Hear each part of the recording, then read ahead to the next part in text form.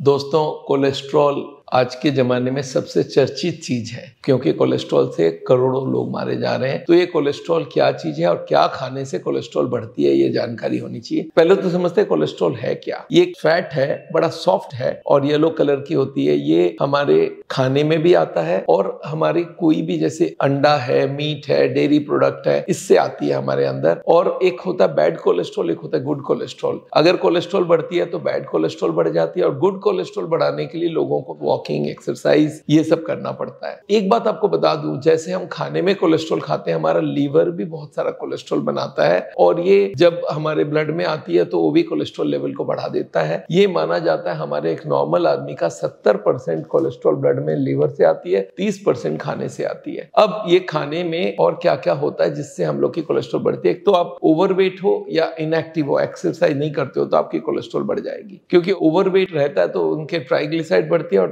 ट्राइग्लिसाइड से फिर कोलेस्ट्रॉल बनती है। और अगर आप एक्सरसाइज नहीं करते तो एचडीएल जो गुड कोलेस्ट्रॉल वो कम होती है। ये देखा जाता है कोलेस्ट्रॉल जिनकी हाई होती है लीवर में ज़्यादा बनती है, उनकी एक फैमिली में टेंडेंसी रहती है। ज़रूर उस फैमिली में कोई ना कोई दो चार लोग होंगे जिनके हाई कोलेस्ट्रॉल रही होगी। स्मोकिंग से भी कोलेस्ट्रॉल थोड़ी बढ़ती है। अगर कोलेस्ट्रॉल हो तो तकलीफ़ क्या होती है? यूजली कोई तकलीफ़ नहीं होती है। कोलेस्ट्रॉल चेक करे बगैर पता भी नहीं चलता है। पता चलता है जब वो बहुत दिन तक चलते रहती है और हमारे खून में चर्बी बनते रहती है, वो ट्यूब्स के अंदर चर्बी जमने लग जाती है। और जब ये कोलेस्ट्रॉल ब्लॉकेज बढ़ाते रहती है, बढ़ाते रहती है, एक दो साल नहीं, दसों, बीसों, तीसों साल लग जाती है इस ब्लॉकेज को बनाने में। ब्लॉकेज को हम लोग प्लेक बोलते हैं सॉफ्ट प्लेक बोलते हैं हार्ड प्लेक बोलते हैं। ये ब्लॉकेज के ऊपर जो पर्दा होता है, वो जिस दिन फटता है, उस दिन वहाँ पे क्लॉट आती है और हंड्रेड परसेंट ब्लॉकेज भी बन जाती है। तो कोलेस्ट्रॉल ब्लॉकेज और हार्ट अटैक का सबसे बड़ा रीजन है अलोंग विथ ट्राइग्लिसराइड तो ये ब्लॉक्ड आर्टरी जब होती है तो फिर वो हार्ट में भी ब्रेन में भी हर जगह कर सकता है। अब ये सोचते हैं कि कौन से चीज़ों में ये कोलेस्ट्रॉल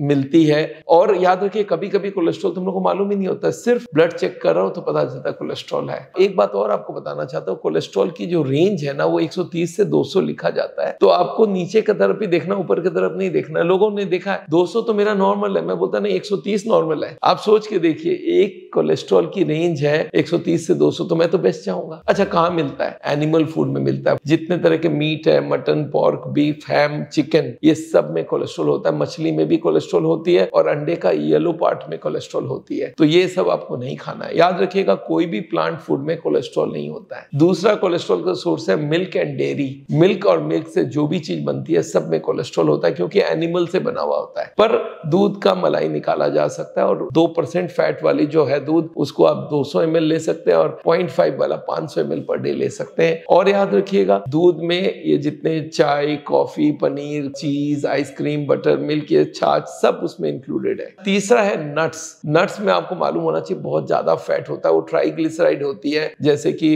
वॉलनट है एलमंड है कैशू नट है, पिस्ता है, ये मूंगफली है कोकोनट है, ये सब में फैट होता है और ये फैट जाके अंदर कोलेस्ट्रॉल बनाने का काम करता है। सीड्स जितने भी अलसी और ये खरबूजा के बीज, ये जितने तरह के बीज है, वो भी कोलेस्ट्रॉल बढ़ाता है क्योंकि वो ट्राइग्लिसराइड और इनडायरेक्टली जाके कोलेस्ट्रॉल बनती है। और हर तरह की ऑयल जितने भी तरह की ऑयल खाती है, वो ट्राइग्लिसराइड है और उसी का ही कुछ पार्ट से कोलेस्ट्रॉल बनता है। दोनों की स्ट्रक्चर अलग अलग है, पर ट्राइग्लिसराइड ज़्यादा होती है तो कोलेस्ट्रॉल भी आपके खून में ज़्यादा होने का चांसेस रहता है, क्योंकि लीवर उसी ट्राइग्लिसराइड को यूज़ करके कोलेस्ट्रॉल बनाता है। तो याद रखिए दोस्तों कोलेस्ट्रॉल एक ऐसी केमिकल है जो सबसे वर्ल्ड का सबसे बड़ा टेररिस्ट में मानता हूँ। टेररिस्ट इन द सेंस जो लोग इतने लोगों को मारता है इंडिया में 35 लाख लोग मारे जा रहे हैं हर साल। किस वजह से? इस कोलेस्ट्रॉल की वजह से। तो कोलेस्ट्रॉल के बारे में आपको जानकारी होना बहुत ज़रूरी है। इसको हम बोलते हैं the biggest terrorist of the world दोस्तों, मेरा नाम डॉक्टर विमल छाजड़ है। हार्ट का ट्रीटमेंट करते हैं हम लोग बिना सर्जरी बिना एंजियोप्लास्टी आज आपको कोलेस्ट्रॉल के बारे में बताया। आगे आपको हर चीज़ के बारे में बताता रहता हूँ। और आप इस वीडियो को आगे शेयर कीजिए। लोगों को जानकारी दीजिए कि कोलेस्ट्रॉल से हार्ट की बीमारी होती है। तो आप ख्याल रखिए अपना। Thank you so much